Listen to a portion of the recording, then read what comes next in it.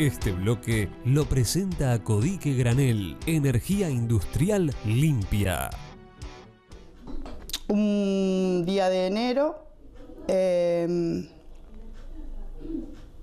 ¿cómo te puedo decir? Este, cambió todo en mi vida porque mi marido salió a trabajar y no volvió. Lo que sí me, queda, como me da un poco de paz, es saber que las personas que mataron a mi marido mediante una rapiña fueron, fueron, apresadas casi en el momento, este, cumplieron su condena, calculo que hoy en día ya están libres porque eran menores los dos, uno tenía 13 años y el otro tenía 17 años. Una de las incertidumbres más grandes era cómo iba a ser el manejo de, de todas esas emociones que tenía internas, ¿no? Y cómo iba a sacar adelante a mis hijos, porque está el homicidio y están las secuelas que quedan a las personas que, de los allegados, digamos. A todo eso ya estaba el proyecto de ley eh, que no había sido aprobado para la reparación a las, a familiares de las víctimas de la delincuencia. Ese era un camino difícil porque tenías que tener mucha documentación, tenías que, que tener conocimiento de lugares, cosa que uno no está acostumbrado. En determinado momento sí lo que hice fue mm, llevar una dependencia del Ministerio del Interior, también muy desbordada emocionalmente y con un montón de carencias. Y allí me, dijeron, mira, hay una organización que está, se está armando y hay un proyecto de ley.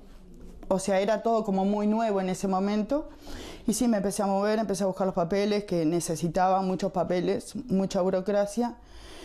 Este, mm, no me dirigí directamente al Estado a pedir una pensión, o sea, no, tampoco tenía conocimiento de mis derechos. Y sí, este, soy una de las personas beneficiarias de, ese, digamos, beneficio. Tengo la seguridad de que, yo sea, a fin de mes o a principio de mes, eh, mis hijos van a tener eh, sus cosas básicas, la seguridad para ellos. Y el monto yo creo que está cerca de 25 mil pesos. Odio, incertidumbre, miedo de saber que ellos iban a salir cuando cumplieran los 18 años, que otras familias podían estar eh, en riesgo de pasar lo que pasó a mi familia.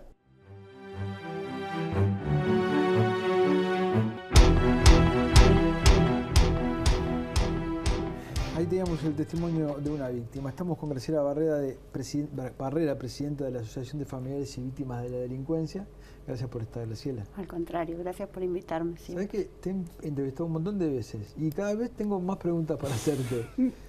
este, eh, es, la, muchacha decía que, a ver, para quienes no saben, hace una década mataron al, hijo de Graciela y ella desde entonces recorre las cárceles, habla con los presos, ¿sí? habla con los presos.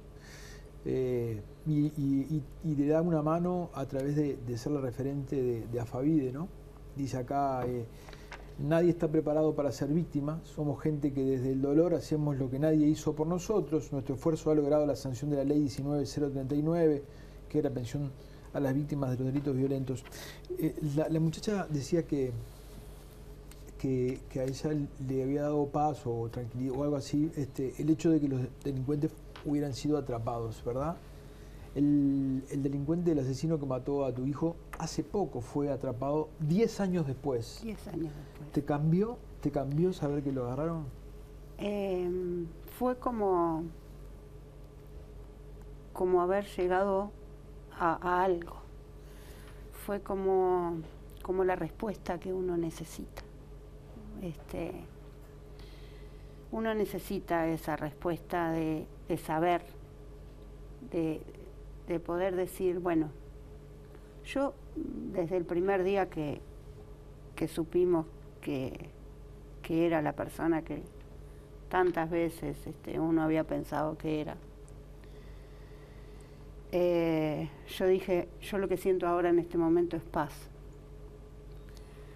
¿Por qué? Porque uno necesita verdades, necesita respuestas.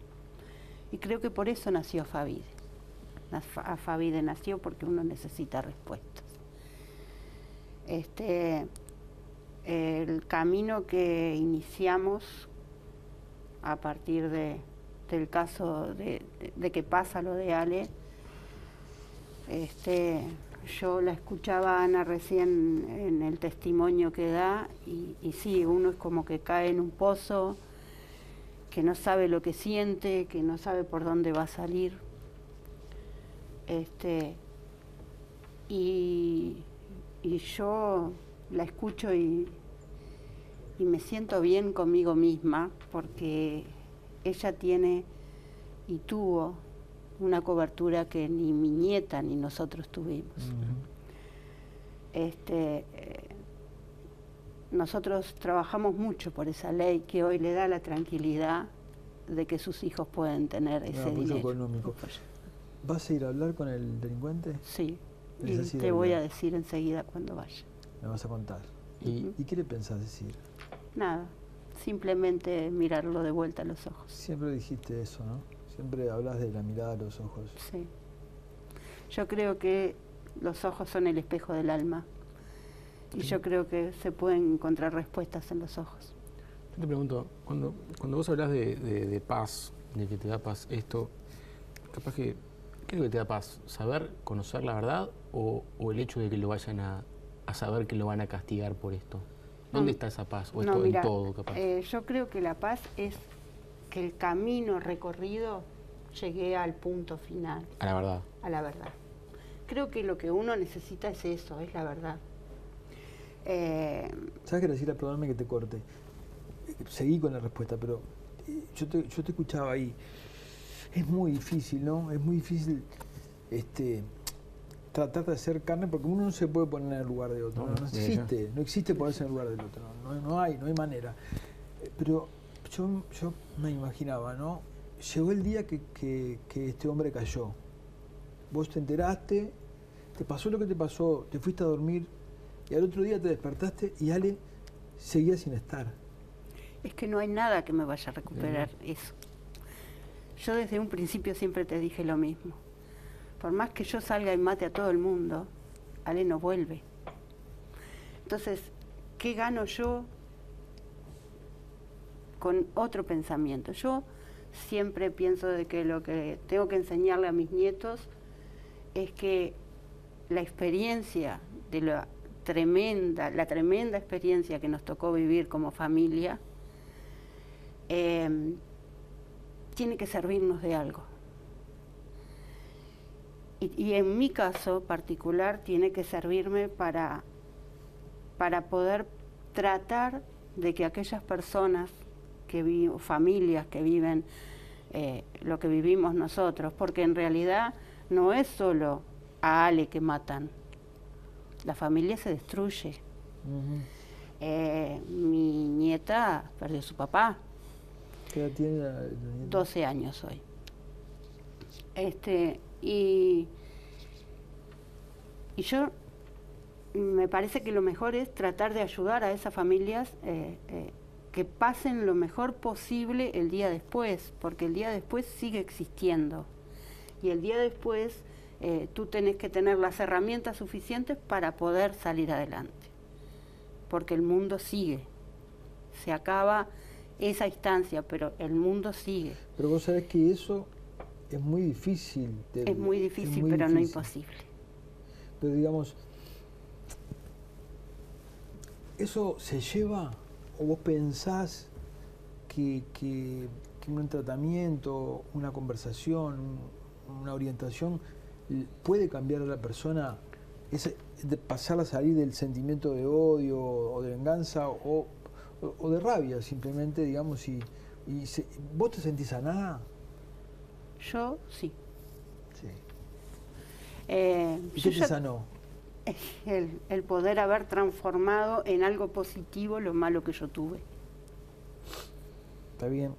Andrés, vos querías decirle algo y que Sí. me habías comentado No, fuera no, de, de eh, cámaras. Vale decir unas cosas este, y aprovechamos para mandarle un gran abrazo al doctor Juan Raúl Williman, que es el, el- el- el abogado del consultorio jurídico que está nombrado acá en el, en el volante, porque la Facultad de Derecho, y en general, y creo que nunca tuvo en su consultorio jurídico, en su práctica previa a recibirse para los estudiantes, eh, un área de trabajo en derecho penal.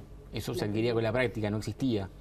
A partir de Alfavive y patrocinando víctimas y a partir del cambio de código, la facultad tiene una clase dedicada a patrocinar víctimas y a empezar a intervenir con estudiantes en materia penal justamente desde este lugar de patrocinio de, de las víctimas. Parece, digo, parece algo menor, pero no lo es. Es el único contacto con la materia penal práctica que tiene un estudiante de Derecho hoy en, en la facultad. ¿Cuándo es eso? En, es el- ¿A, la- a partir del nuevo código? a partir del nuevo código y pudiendo 2017. patrocinar víctimas en forma clara, se crea esta, esta clase que hoy está a cargo del doctor Williman, que habrán visto, este, también ha estado por los medios este, explicando algunas cosas de estas. Este, me parece un tema nada menor y aparte él se ha puesto la camiseta con este tema, y ustedes lo pueden decir mejor que nadie, este, con, con el rol de la víctima, con patrocinarla y con Alfavide en, en, en particular. ¿Está llegando gente a Favide? ¿Se suma la gente a Favide? ¿Le llega? Sí se suma. A- yo, este, eh, nosotros lo que siempre decimos es que es muy difícil para una víctima este, quedarse en Afavide, porque es difícil estar viviendo constantemente el dolor de otra persona. Eh, en nos- un lugar no se lo recuerda todo el tiempo. Exactamente. Mm. Eh, au- aunque uno no lo quiera, aunque este, eh, Afavide, el local en sí, General Flores 2419, eh, sea un lugar cálido donde tenemos mucha luz, mm, mucha fuerza, m- Sí. mucha empatía con la Sí. gente.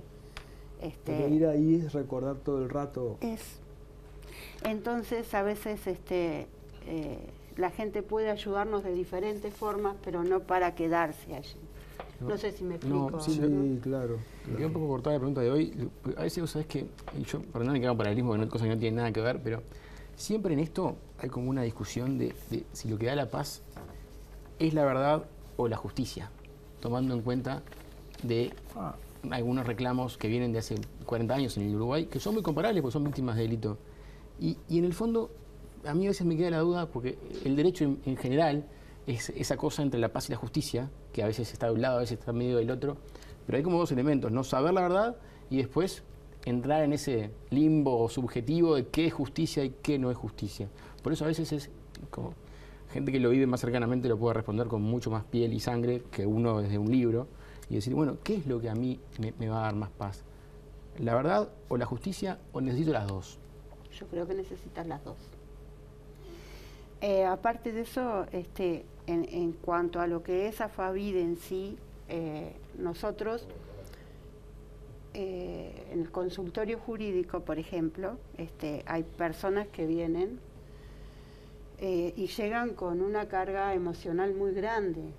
Entonces, solamente el hecho de entrevistarse con el abogado, con los procuradores, ya mm, es como que es más carga emocional. Entonces, al ser así, hay psicólogos que los acompañan, que los fortalecen y que hacen las cosas más fáciles.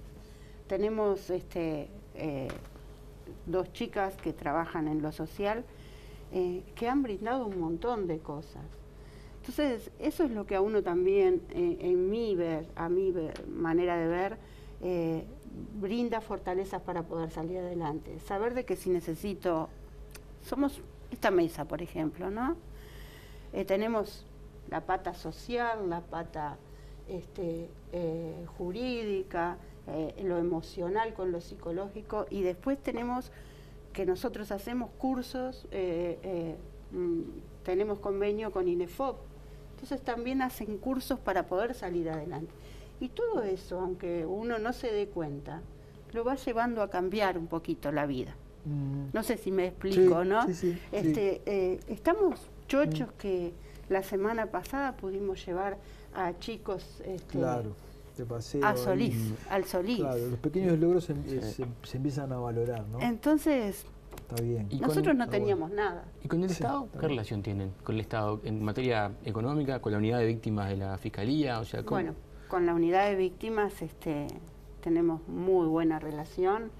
eh, tanto es así que yo siempre digo, la unidad de víctimas está hecha a semejanza de Afavide, y siempre lo dije, ¿no? Por ahora, ¿no? Este, porque hemos charlado mucho, mucho, y, y- y yo sé que es así. Este, después, bueno, con el Ministerio del Interior también y el BPS también, este, estamos en un local que era del BPS, lo compartimos con Mujeres de Negro y con el CABID. Y, y bueno, son cosas que, que la sociedad civil tiene que irse entrelazando, ¿verdad? Este, nosotros formamos parte dentro de, de la unidad de víctimas este, de, de un... Eh, como un, este, una comisión, vendría, no, no es exacta la palabra ahora, este, en donde están los diferentes ministerios del Estado está la sociedad civil presente.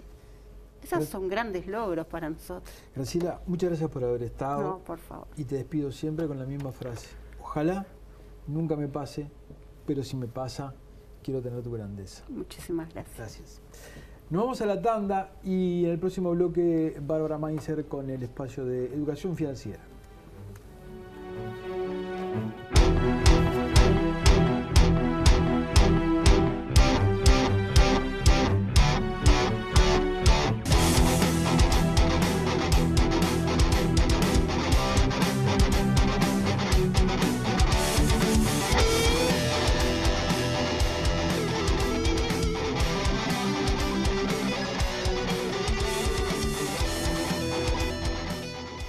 Este bloque lo presentó Acodique Granel, energía industrial limpia.